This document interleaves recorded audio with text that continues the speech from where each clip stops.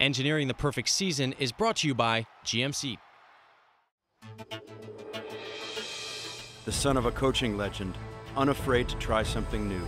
If it can help us become a better football team, then we're going to use it. Technology built for war lands on the football gridiron. A 38 year veteran working quietly on the sidelines takes to the sky. Today is a new day.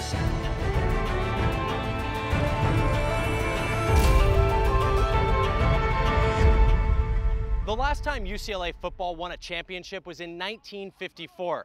That was a year before the face mask was invented. This season, the team is gunning for the Pac 12 championship title. That's a lot of expectation. So, what are they doing to up their game? Something revolutionary. Bruins training camp, Cal State San Bernardino. There's a buzz in the air. It's not just the excitement of a new season or the return of Heisman hopeful quarterback Brett Hundley. It's UCLA's newest tool, the Phantom quadcopter drone. When you're a coach, it's hard to comment on anything that happens at practice without the old, I got to look at the film. Anything that can give us an edge, then we're going to embrace. Ken Norris has been with the Bruins since 1986, but he got a start a decade earlier, splicing 16 millimeter game footage. I started my career with the Los Angeles Rams at the tender age of 13. My boss at the Rams, Mickey Dukic, he was the first full-time cinematographer in the NFL. As a hobby, he flew model airplanes. So when you walked into his office, you saw a film lab, you got a processor in the back, and then all these different model airplanes. When you're a kid, you're going, oh man, I'd love to fly one of those. Obviously, he never once let me touch his, and I had to go get my own single prop plane. Same controller as one of these, it was very similar. Flew it, not realizing it runs out of gas.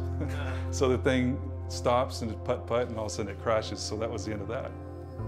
Haven't flown since until these things came out. Ken introduced the Phantom drone one day at Bruins practice in 2013. It wasn't long until the coaching staff embraced the new technology, realizing the incredible power of an eye in the sky. Drone technology is helping football teams see the field from a new perspective. The GMC Acadia also gives you a better perspective with its innovative head-up display. The cockpit-inspired readout projects onto your windshield so you can access data like your speed, audio info, and climate controls, all without taking your eyes off the road. The GMC Acadia Denali, that's professional grade.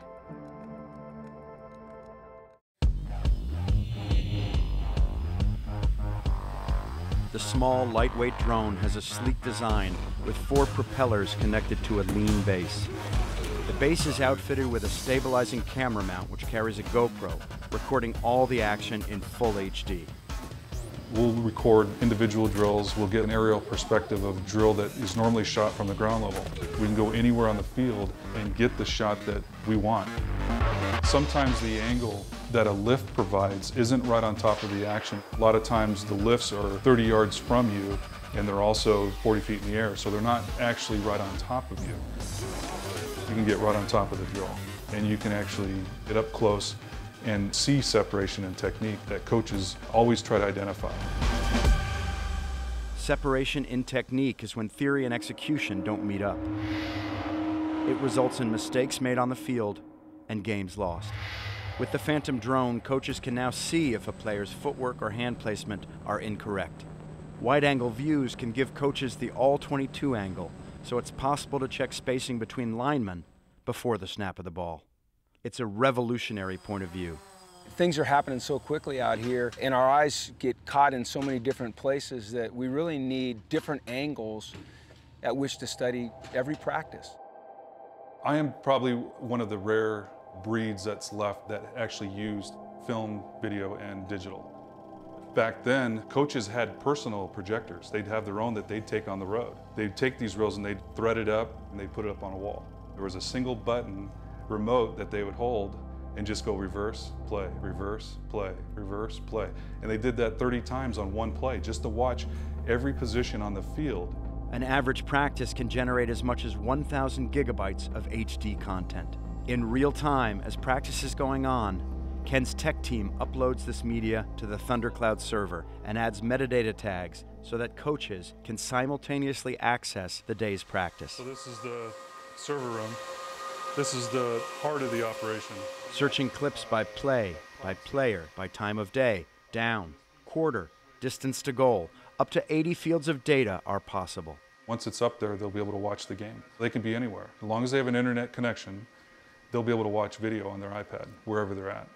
What's fun for me is when I come home at night and my son, Trey, who's 11, has already watched our practice. During the season, he'll have a scouting report ready for me on Monday night, and that's kind of cool. Whether it's that Phantom drone or the Thundercloud server that allows coaches to review game footage in a matter of clicks, the players are still human beings, prone to injury and error. But with innovative minds like Ken Norris helping coaches be more precise than ever, UCLA is well on its way to engineering the perfect season.